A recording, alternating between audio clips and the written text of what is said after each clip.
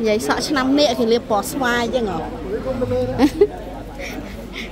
សក់ឆ្នាំនេះលាបពណ៌ស្វាយចឹងមែនបងប្អូនអ្នកកំពុងចាំចាំទទួលអឺ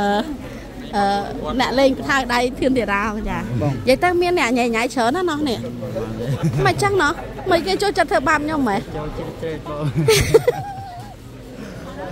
អូយអូយអូយឲ្យឡើងឡើងចឹងឲ្យមើលអូយឡើងញ័រអា មើលមកប៉ិនម៉ែអឺទៀមខ្លួនហើយអានេះខ្លាំងហើយនៅហើយដល់ហើយអូប៉ុន្តែមានអារម្មណ៍ថាលើកនេះដូចជាល្អជាងរាល់ដងសម្រាប់តិចគីឡូឬក៏មិនដែរអឺអឺចាចាចិត្តចូលឆ្នាំអញ្ចឹងស្រស់ថ្លាដល់ហើយពណ៌សាក់គីឡូយអាឥឡូវមានអីផ្ដាំផ្ញើបងប្អូនអ្នកកំពុងចាំចាំទទួលធឿនធារាប្រាប់ញ៉ាំដល់ពុកម៉ែបងប្អូនរបស់គ្នានៅខេត្តកំពង់ចាមផ្លេចចូលរួ មទស្សនាបានច្រើនកកហើយ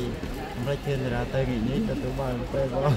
ជួបបានពេលហងហើយកុំភ្លេចម៉ែបងប្អូនទាំងអស់គ្នាធ្វើដំណើរតាមផ្លូវកំឡុងចូលឆ្នាំនេះធ្វើដំណើរតាមផ្លូវមានសុខភាពល្អទាំងអស់គ្នាហើយធ្វើដំណើរបើកបរប្រុងប្រយ័ត្នទាំងអស់គ្នាបាទចាចាអរគុណច្រើនណាគុណ